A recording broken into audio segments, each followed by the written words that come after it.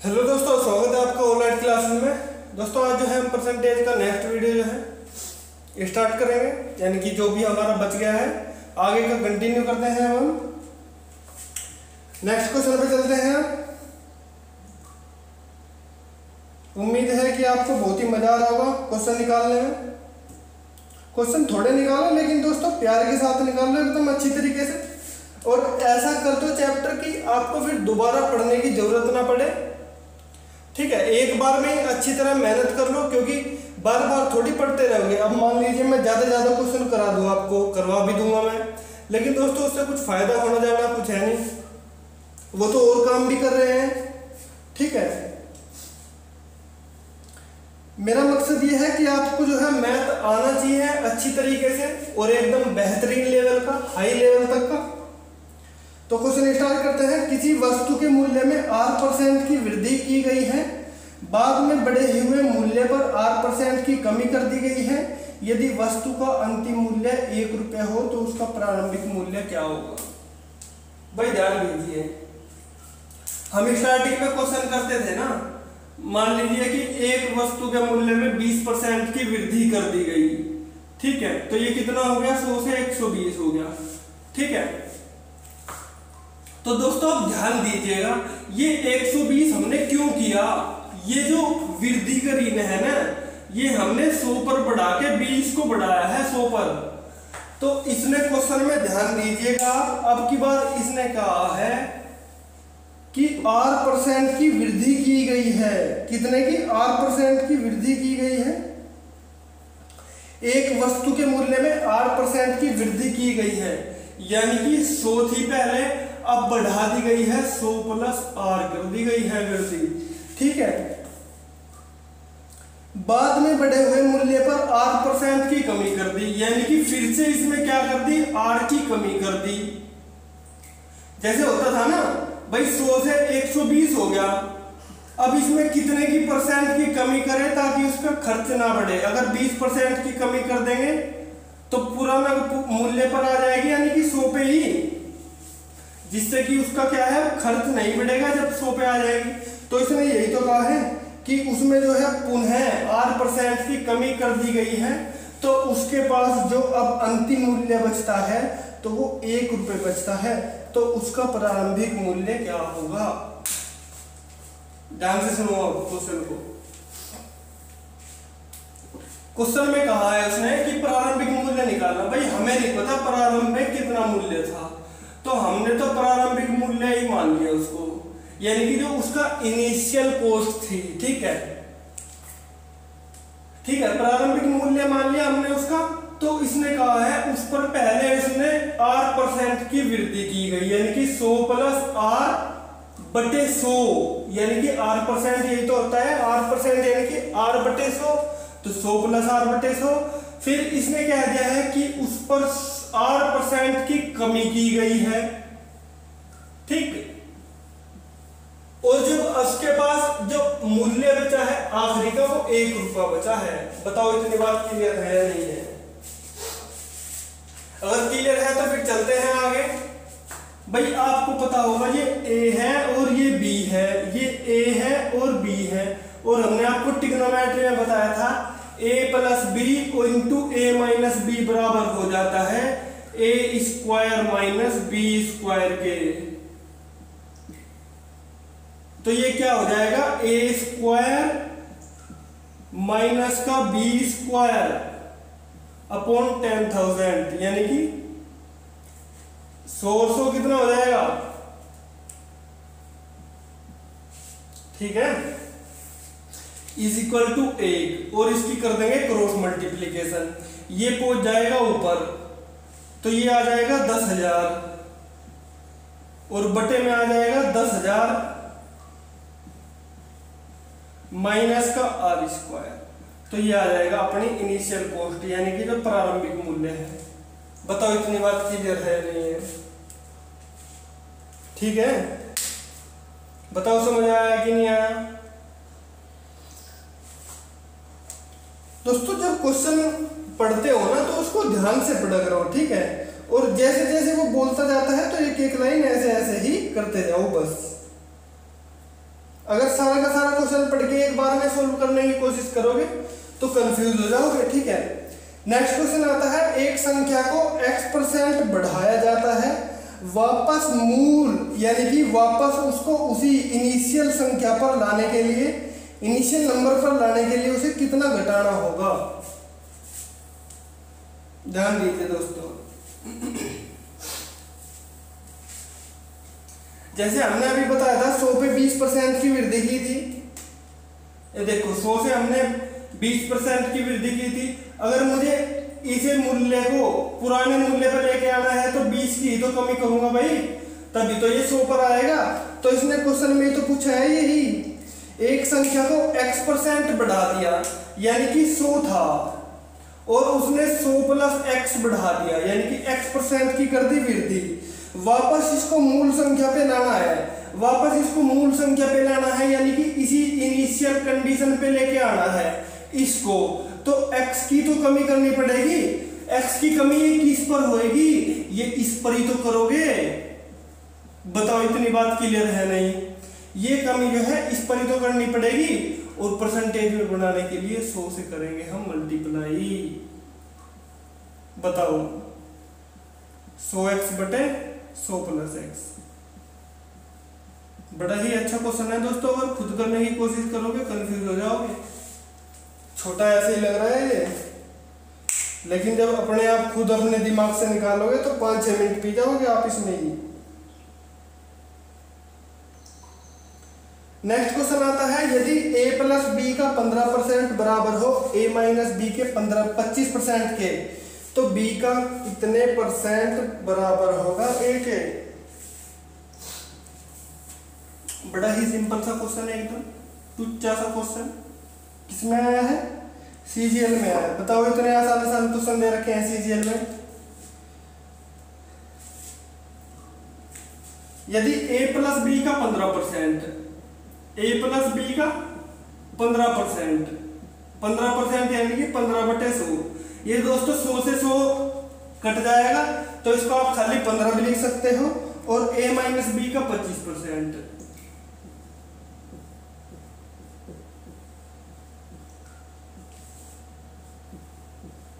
ये लोग कट गया, है ना? तो पाँच से इसको भी काट सकते हो, पाँच दिया पंद्रह, पाँच पंजे पच्चीस, ठीक है? और इसकी अंदर मल्टीप्लाई कर दीजिए, ये हो जाएगा थ्री ए प्लस का three B is equal to five A minus का फाइव बी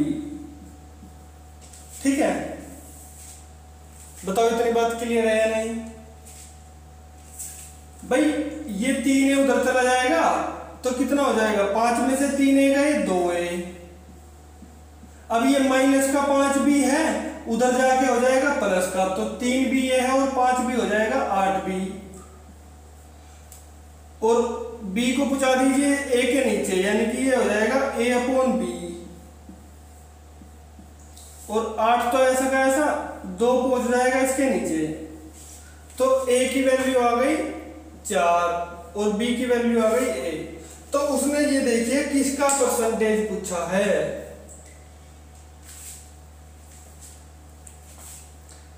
इसने कहा है कि b का कितने परसेंट a के बराबर होगा?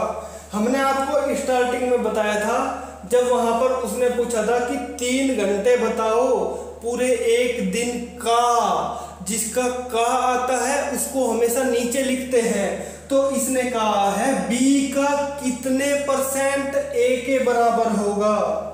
इसको दो मेथड से कर सकते हो आप। ये तो ऐसे कर लो बी का एक्स परसेंट ए के बराबर होगा, या फिर डायरेक्ट ऐसे करो बी का, जिसका कहा है उसने का। बी का कहा है ना बी का, जिसके साथ का लग जाता है, उसको नीचे लिखेंगे, बाकी जो दूसरा होगा, उसको लिखेंगे ऊपर। और उस परसेंटेज में बनाने के लिए सौ से करेंगे मल्टीप्लाई यानी कि 400 परसेंटेज ठीक है? और अगर ऐसे करना है b का कितने परसेंट a के इक्वल होगा? यानी कि b का x परसेंट a के इक्वल होगा। B की वैल्यू आपको पता है एक और a की वैल्यू है चार। तो x बटे हो गए सो। तो सो की इधर मल्टीप्लाई कर दीजिए, वही आ जाएगा चार सौ। दो मेथड है आपके पास, जो सा आपको इजी लगे, वो कर लीजिएगा। ठीक है? नेक्स्ट क्वेश्चन पे चले हम।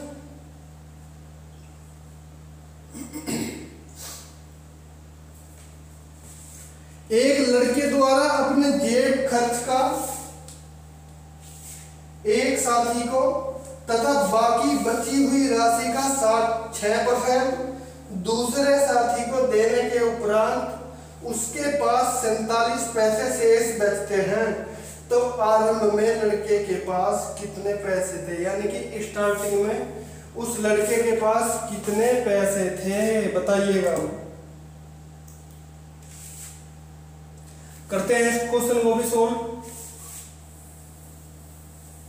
ये दोस्तों, ये ना सोचना, इतना लंबा लंबा होगा। केवल दो दो लाइन के क्वेश्चन है। जब आपकी कैलकुलेशन फास्ट हो जाएगी ना, और बेस मज़बूत होगा, नींव मज़बूत होगी, तब ये क्वेश्चन आप क्या करोगे? अब जैसे कुछ कुछ स्टेप को आपको लगता भी होगा छोड़ छोड़ के कर देते हो आप तो ऐसे ही स्टेप को छोड़ना सीखेगा और धीरे धीरे जो है, अपनी स्पीड को बढ़ाइएगा, ताकि आगे जाके आपको कोई भी दिक्कत ना आए। क्योंकि ये केवल आपको समझाने के लिए इतना लंबा लंबा लिख रहा हूँ मैं। नहीं, मैं तो दो दो लाइन में भी कर दूँगा इनको। देखो क्या कहा इसमें एक लड़के द्वारा अपने जेब खर्च का 80 परसेंट, यानी कि जेब खर्च उसके पास था 100 तो इसने कहा क्या दिया है, जेब खर्च का जो 80 परसेंट है, एक साथी को, यानी कि फ्रेंड को और बाकी बची हुई राशि का छह परसेंट। बाकी बची हुई राशि यानी कि जो बाकी बचा अमाउंट है उसके पास, उसका जो छह परसेंट है, ये बीस भी अपने आप में पूरा सौ परसेंट है। तो इसका छह परसेंट दूसरे फ्रेंड को अदर फ्रेंड को दे देता है। उसके पास, उसके बाद, उसके पास जो शेष बचा होता है, यानी कि बीस का छह परसेंट बचा दे दिया उसने दूसरे फ्रेंड को बाकी बचा चौरानवे परसेंट। ठीक है? वो क्या करता है? शेष रह जाते हैं तो आरंभ में उसके पास कितने पैसे थे जेब खर्च के लिए?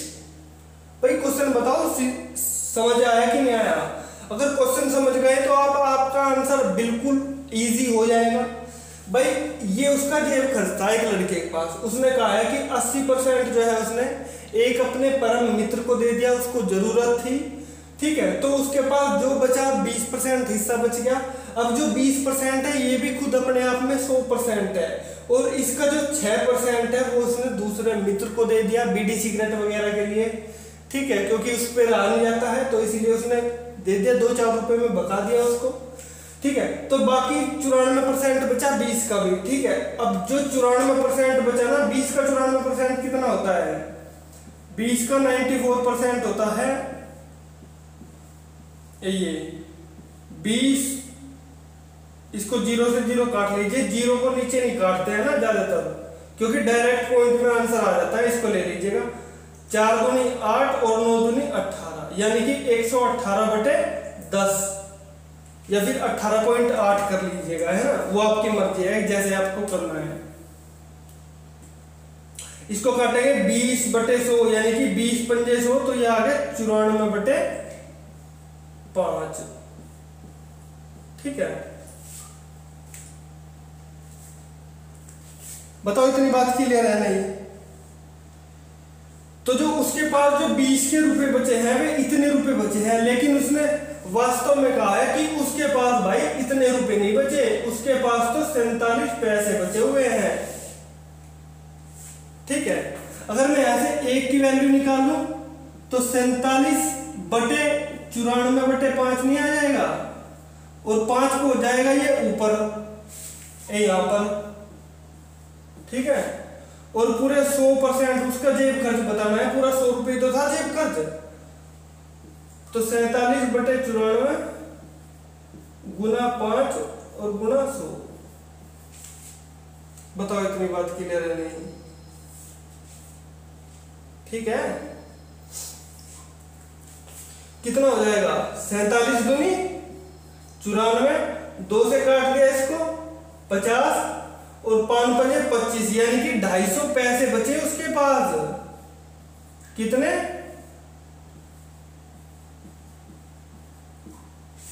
उसके पास बचे हैं ढाई सौ पैसे। क्वेश्चन में देखो क्या कहा था। ढाई सौ पैसे बोलते हैं किसको? टू पॉइंट फाइव रुपए को।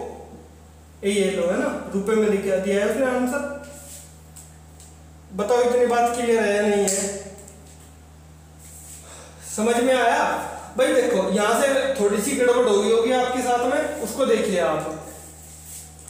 पूरा उसके पास जेब खर्च सौ था। सौ में से अस्सी परसेंट दे दिया उसने आपके परम मित्र को, बीस परसेंट दे दिया उसने दूसरे। बीस परसेंट बचा उसके पास शेष बीस का जो है छह परसेंट उसने दे दिया अपने दूसरे मित्र को बीडी सिगरेट के लिए। बाकी बचा बीस का चौरानवे परसेंट। अब उसने कहा जो ये बचा हुआ है ना, ये जो चौरानवे परसेंट बचा हुआ है, वो उसके पास सैतालीस पैसे बचे हो गए हैं। अब भाई ये है पैसे में वैल्यू और ये है परसेंटेज में तो बीस का चौरानवे परसेंट निकाल के तो आ जाएगा चौरानवे बटे पाँच। ठीक है? और चौरानवे बटे पाँच की जो है वैल्यू वो है सैतालीस रुपए की। तो एक की वैल्यू निकल निकालेंगे तो सैंतालीस बटे चौरानवे बटे पाँच कर देंगे और पाँच पहुँच जाएगा ऊपर।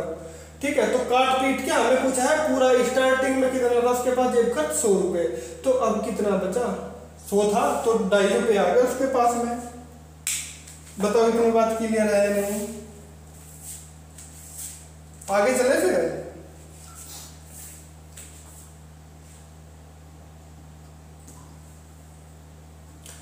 एक्स तथा वाई के वेतन का योग दो हज़ार रुपए है।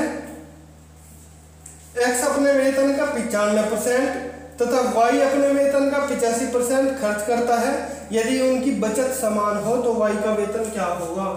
वेतन यानी कि दोस्तों सैलरी को बोलते हैं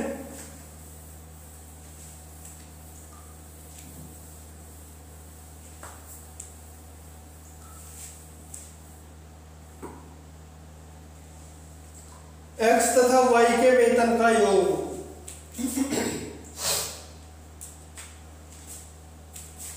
जो एक्स है और वाई है इनकी जो सैलरी का जो योग है टोटल मिलाकर वो दो हज़ार रुपए है।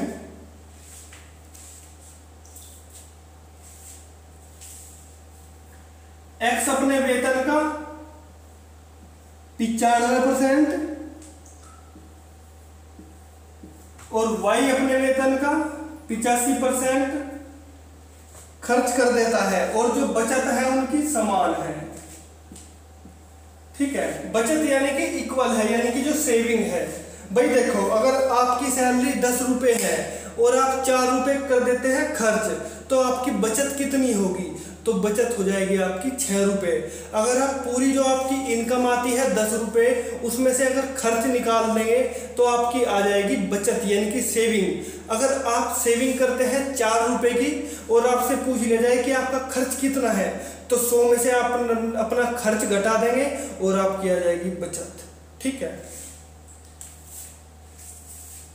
भाई पिचानवे खर्च कर दिया इन्होंने, खर्च, यानी कि एक्सपेंडिचर कर दिया इन्होंने पिचानवे परसेंट। और वाई करता है एक्सपेंडिचर अपना खर्च करता है पिचासी परसेंट। इसके पास बचता है एक्स के पास पाँच परसेंट की सेविंग है केवल। ठीक है? और जो वाई है वाई के पास केवल पंद्रह परसेंट की सेविंग है। तो इसने कहा है, उनकी जो ये सेविंग है ना, ये इक्वल है। यानी कि एक्स का जो पाँच परसेंट है की सेविंग है और y की जो 15 परसेंट की सेविंग है, वो इक्वल है। भाई 100 से तो 100 कट जाएगा, लिखने की कोई ज़रूरत नहीं है। केवल आपको बताने के लिए लिखा है, आप ऐसे नहीं करेंगे। Y को लेके आ जाइएगा इसके नीचे, यानी कि x अपॉन वाई और पाँच को पहुँचा दीजिएगा उधर। ये लीजिए। ठीक, पाँच दिया पंद्रह, यानी कि जो x और y का रेशियो आया, x की इनकम है तीन, यानी कि एक्स की जो सेविंग है तीन और वाई की है कितनी? एक। यानी इनका रेशियो आ गया हमारे पास, ठीक है? बताओ इतनी बात क्लियर है नहीं? ठीक है? अब ध्यान दीजिए, ये हमारे पास आई है रेशियो में वैल्यू और उनकी जो सैलरी है ना, वो टोटल है कितनी? दो हज़ार। लेकिन हमारे पास सेविंग आ रही है तीन और एक चार। तो चार की वैल्यू अगर हम निकाल लेंगे तो वो हो जाएगी दो हज़ार। ठीक है? और अगर एक की वैल्यू निकालते हैं यहाँ से तो चार पंजे बीस यानी कि पाँच सौ रुपए हो जाती है। यानी कि पाँच सौ रुपए होगी इसकी, ये वाली वाई की। ठीक है? और तीन की वैल्यू निकाल लेंगे तो पाँच या पंद्रह, यानी कि पंद्रह सौ रुपए। ठीक? अब ये देख लीजिएगा किसकी पूछी है उसने। हमने दोनों की निकाल दी एक्स की भी निकाल दी और वाई की भी निकाल दी।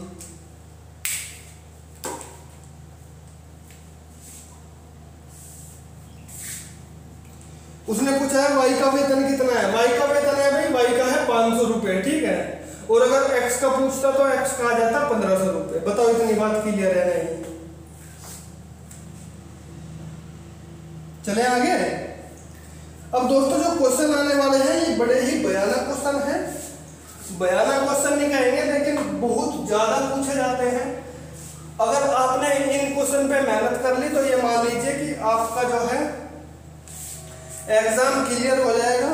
परसेंटेज में क्योंकि जो सबसे ज़्यादा क्वेश्चन पूछे जाते हैं वे यहीं से पूछे जाते हैं। तो इन क्वेश्चन को जो है आप बड़े ही ध्यान से करेंगे।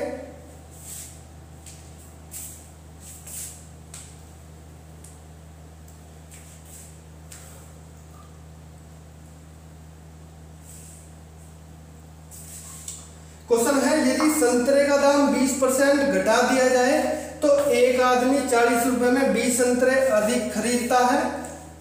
तो एक संतरे का घटा हुआ दाम कितना होगा?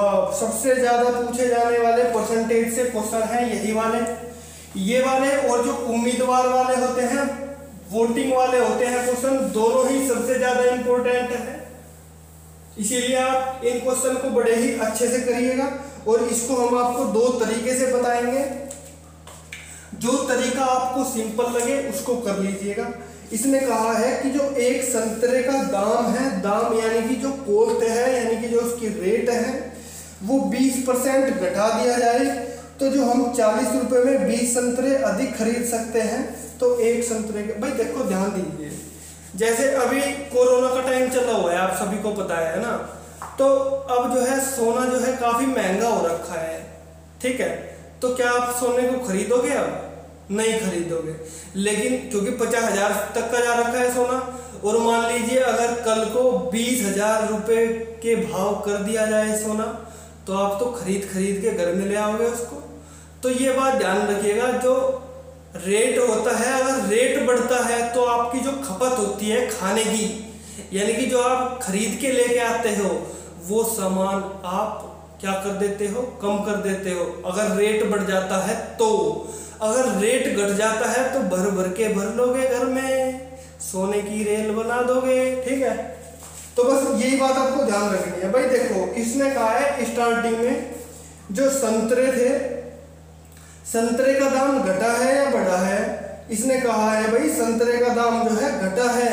कितना परसेंट बीस परसेंट और जो बीस परसेंट घटा है ना इसका जो प्रभाव पड़ा है, आप 20 संतरे अधिक खरीद पा रहे हो।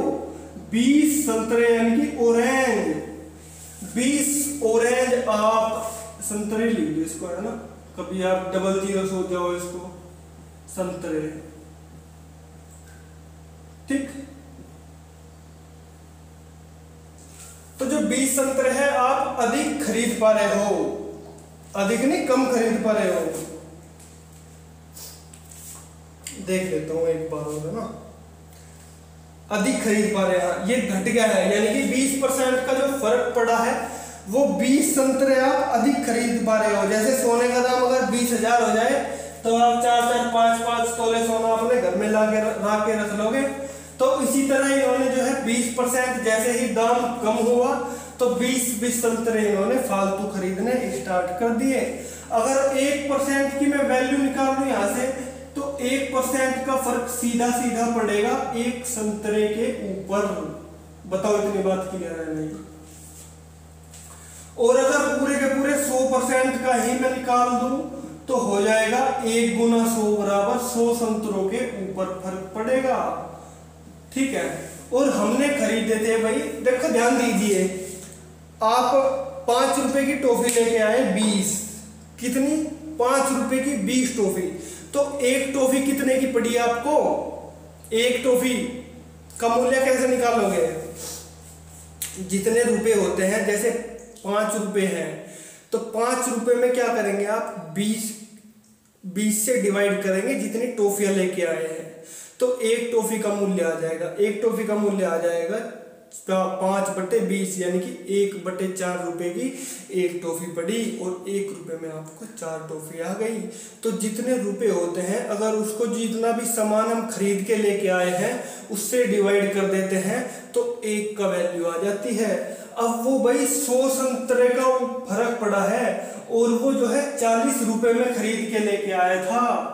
चालीस रुपए में तो जितने रुपए होते हैं, उतने संतरे से अगर डिवाइड कर दूँ तो एक संतरे की वैल्यू आ जाएगी नहीं आ जाएगी, ये बताओ आप। एक संतरे की वैल्यू आ जाएगी। बताओ। ठीक है? क्वेश्चन में क्या पूछा है इसने? यही तो पूछा है शायद। ठीक है, ये तो आई रुपए में।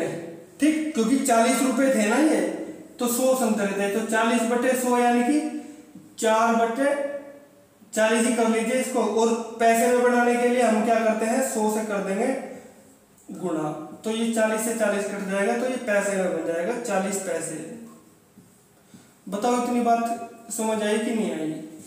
अब इसको समझिए आप दूसरे मेथड से। अगर ये समझ में आ गई तो ठीक है आपको। एक मेथड हो रहा है इसको। इस इस क्वेश्चन से ही चार क्वेश्चन पूछे जाते हैं। ये तो आई है अब की वैल्यू एक पूछ ली जाती है पुरानी वैल्यू अभी सारा बताएँगे हम आपको देखो ध्यान से। बीस परसेंट घटा की बढ़ा बीस परसेंट घटा। यानी कि बीस परसेंट की वैल्यू होती है बीस बटे सौ। यानी कि एक बटा पाँच। यानी कि रेट और खपत। खपत यानी कि खाने वाला, ठीक है? जितने आप कम या फिर फालतू लेके आते हो, उसको बोलते हैं खपत। भाई देखो, पहले रेट मान लीजिए ये था। ठीक है? पहले सोना था कितना? पचास हज़ार का, अब हो गया बीस हज़ार का। ठीक है? ध्यान दीजिए। पहले पाँच था, अब उसने कहा बीस परसेंट घट गया, यानी कि बीस परसेंट पाँच का होता है एक। तो एक घट गया तो अब हो गया चार रेट। पहले तो पाँच था, लेकिन अब हो गया रेट चार। और जो खपत होती है ना तो खपत बिल्कुल इसकी उल्टी होती है, यानी कि चार रेशियो फाइव बताओ, इतनी बात क्लियर है नहीं? भाई, अगर रेट ज़्यादा है तो आप सामान कम खरीदोगे। अगर रेट कम है तो सामान ज़्यादा खरीदोगे या नहीं खरीदोगे। तो अब जो है खपत आई है। खपत की कितनी की बढ़ोतरी होगी? क्योंकि ज़्यादा सामान खरीद रहे हो आप, पाँच। पहले खरीदते थे चार, अब खरीदोगे पाँच। तो यानी कि एक फालतू खरीद रहे हो आप। और उसने कहा है, आप वास्तव में बीस संतरे फालतू खरीद रहे हो। तो एक संतरे की वैल्यू आ गई बीस रुपए। ठीक है? और अगर चार की निकाल लू मैं तो कितने संतरे फालतू खरीदोगे? दो, चार दूनी आठ, यानी कि अस्सी संतरे आप पहले खरीदते थे, और अब खरीदोगे कितने संतरे? बीस पंजे सौ, यानी कि पहले तो खरीदते थे आप अस्सी संतरे, लेकिन अब खरीदोगे आप सौ संतरे। तो ये तो ये खपत पूछ लेगा आपसे। एक, दो चीज़ तो ये होगी, पहले खपत कितनी थी, अब खपत कितनी है? ठीक है, अब ध्यान दीजिए, क्वेश्चन में इंटरेस्टिंग है। चालीस रुपए थे आपके पास। बताओ, चालीस रुपए थे नहीं? ए, ये वाले। ठीक। चालीस रुपए थे आपके पास, और ये है अस्सी संतरे। अस्सी संतरे खरीदे। ठीक। और पाँच का भाव था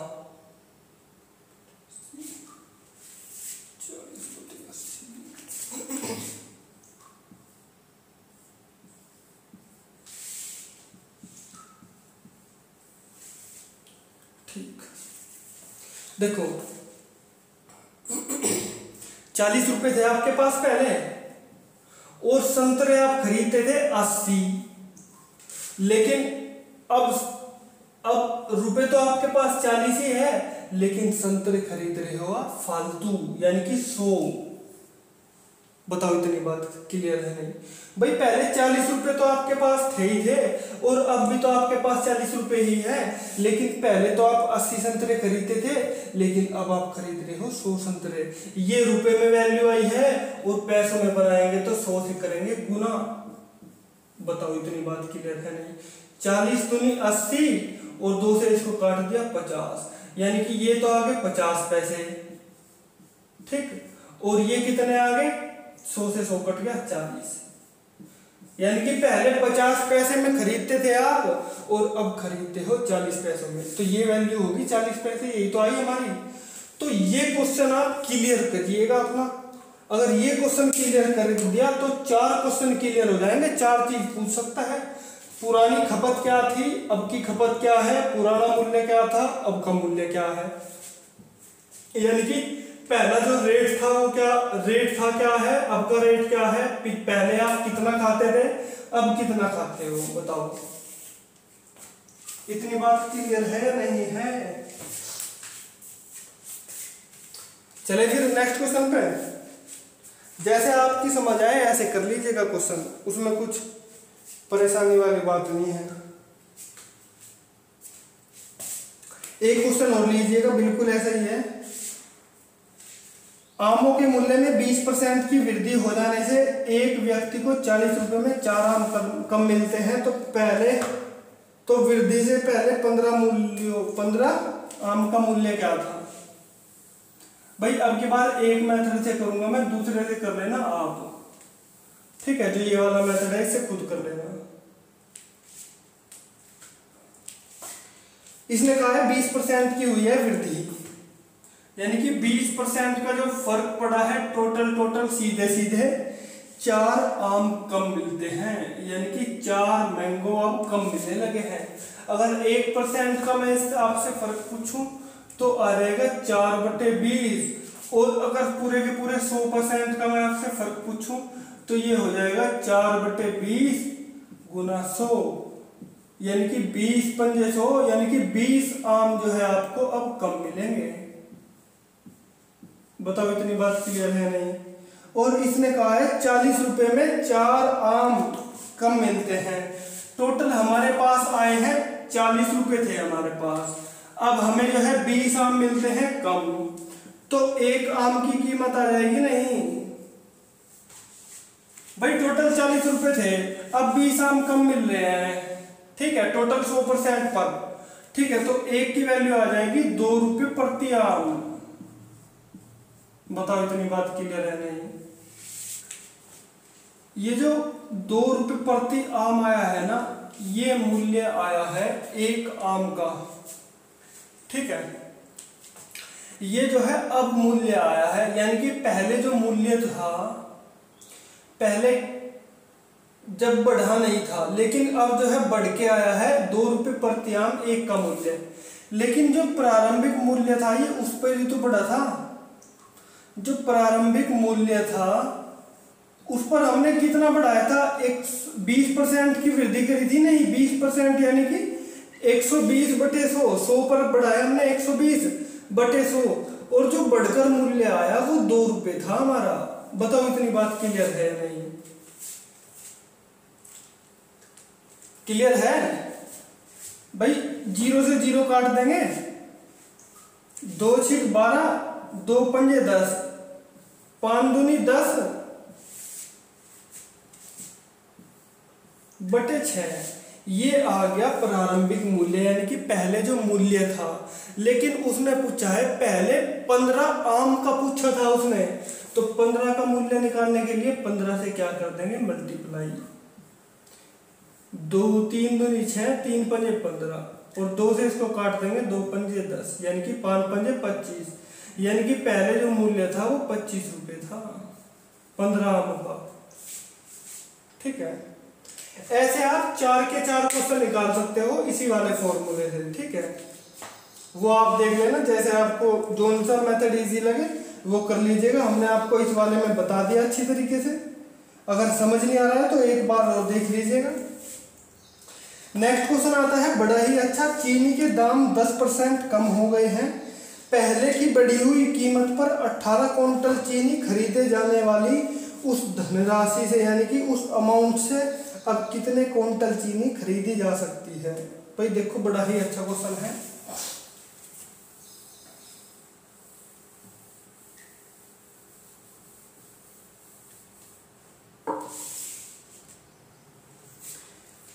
चीनी का दाम जो है दस परसेंट हो गया कम, यानी कि पहले था सौ।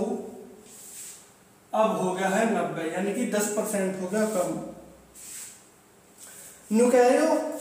यू कह रहा है कि पहले की बढ़ी हुई कीमत पर 18 क्विंटल चीनी खरीदी जाने वाली उस धनराशि से, यानी जो पहले खरीदी जाती थी, उससे अब कितने क्विंटल चीनी खरीदी जा सकती है? उसी से। भाई ध्यान दीजिए। 18 क्विंटल चीनी थी। पहले भाव था सौ रुपए का। तो 18 क्विंटल चीनी खरीदोगे तो 18 गुना सौ नहीं हो जाएगा। अट्ठारह सौ रुपए की हो जाएगी ना ये एक चीनी की बोरी। भाई, चीनी की जो बोरी का भाव है, सौ रुपए प्रति क्विंटल है। ठीक है? और ये है अट्ठारह क्विंटल। तो अट्ठारह गुना सौ नहीं हो जाएगा, यानी कि अट्ठारह सौ रुपए की एक चिन्नी की बोरी हो जाएगी। कहने लगा, भाई, अब भाव नब्बे रुपए हो गया तो इसे नब्बे से क्या कर दो? डिवाइड कर दो। अब नब्बे रुपए की मिलेगी यही, पहले मिलती थी सौ में तो इससे घटा दीजिए, नौ दूनी अट्ठारह तो अब जो है बीस के भाव मिलेगी, बीस क्विंटल मिलेगी अब चीनी पहले मिलती थी अठारह क्विंटल, अब मिलेगी बीस क्विंटल। क्यों? क्योंकि रेट हो गया कम। कितना? टेन परसेंट लेस हो गया।